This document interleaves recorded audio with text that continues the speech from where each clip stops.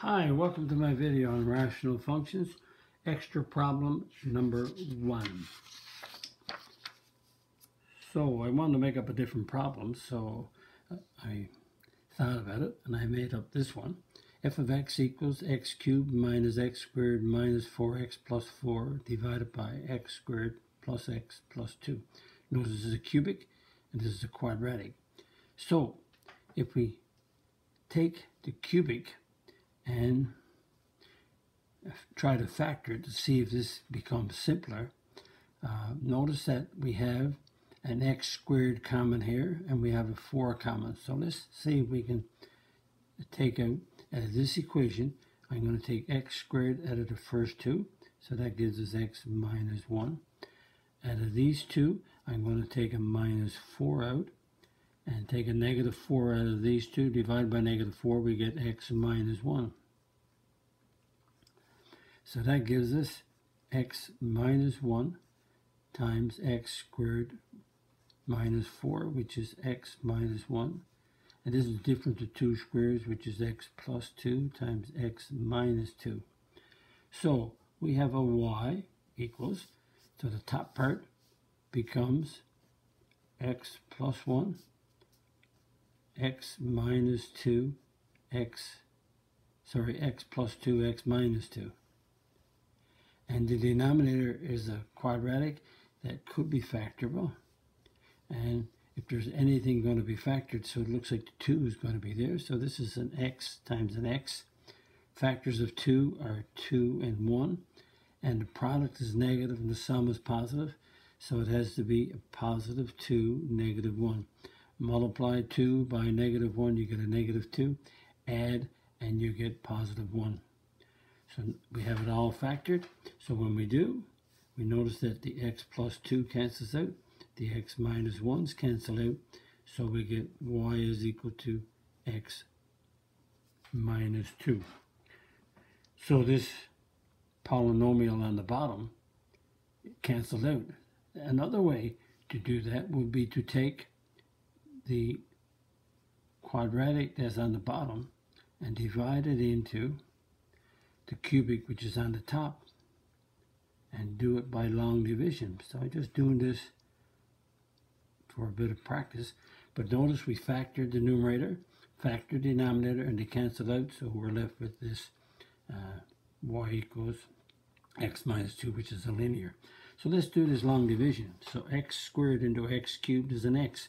So the x goes above the x, the same as the power of 1, 1. Multiply back. x squared times x is x cubed. x times x is x squared. x times negative 2, negative 2x. Draw a line. We're subtracting, so that plus becomes a minus. That plus becomes a minus. And that minus becomes a plus. So positive 1, negative 1, 0. A negative 1 and a negative 1 makes it a negative 2x squared. Negative 4 plus 2 is negative 2x. Now I bring down to 4. So x squared divided into negative 2x squared is negative 2. Multiply back. x squared times negative 2 negative 2x squared. Negative 2 times positive 1 is negative 2x. Negative 2 times negative 2 plus 4. And we're subtracting, so we make this a plus. We make this a plus. And that's a plus, so we make it a minus. So add them up, cancels, cancels, cancels. So there's a zero remainder. Notice because this is a zero remainder, that means this is a factor of this. Zero is a remainder, so x minus 2 is a factor. So if I did the long division, it would come out to be this right here, either way. Now, as a result, we look for, because let's look for, now, notice this time, two of these canceled out.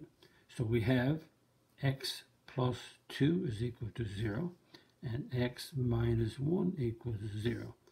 So there's a hole at the x coordinate of negative 2 and there's a hole at the x coordinate of 1. So we take the equation y equals x minus 2 and we plug in the minus 2 for x and negative 4. So there's a hole at negative 2, negative 4. And y equals x minus 2 is the line. And we plug in x is 1 and x is 1 1 minus 2 is negative 1 and there's a hole at 1 negative 1 so let's plot the holes first. So there's a hole at negative 2 here negative 4 right here. And there's also a hole at 1 negative 1 1 negative 1 there's a hole right here. So let's plot this line has a y-intercept of negative 2 which is right here. And the slope is 1 1 over 1 so we go up 1 right 1 up 1 right 1 up 1 right 1 or we can go down 1 left 1 down 1 left 1 so there's the line. Right there. And it goes on down through like this. So there's a hole there and the hole there and this. So I just made up a different equation. This one has two holes in it because when you have um, a rational function or rational expressions like this uh, they because they cancel out now there's two holes in this one before I only just had one and I wanted to illustrate that with the extra problem. Always good to look at uh, the math skills that we practiced earlier. And again, if you like my video, click the like button, click the subscribe button. Visit my math website, www.mathfullyexplained.com to find more information about me, my videos, and the content. That's the content on my YouTube channel called Math Fully Explained, just one word. Thank you for viewing my video. Hope the video helped you. Bye-bye.